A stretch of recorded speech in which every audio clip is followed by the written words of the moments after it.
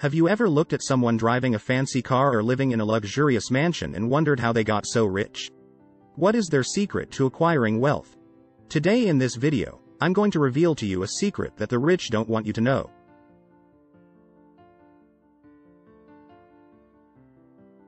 We live in a world where the wealth gap between the rich and poor is growing rapidly. The top 1% of the world's population holds more wealth than the bottom 50%.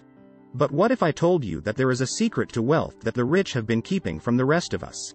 The secret to wealth is not about how much money you make, but about how you manage your money. The rich understand that saving and investing their money is the key to building long-term wealth.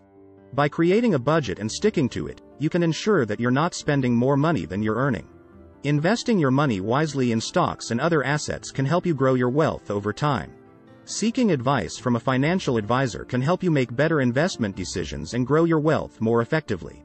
Starting your own business can also be a way to build long-term wealth, but it requires hard work, dedication, and a willingness to take risks. Finally, giving to charity can be a way to build wealth in a different sense. By helping others, you can create a sense of purpose and fulfillment in your life that money alone cannot provide.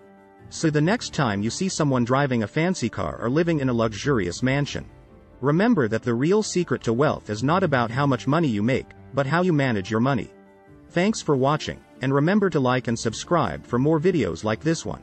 Remember, managing your money well is the key to building long-term wealth and achieving financial freedom.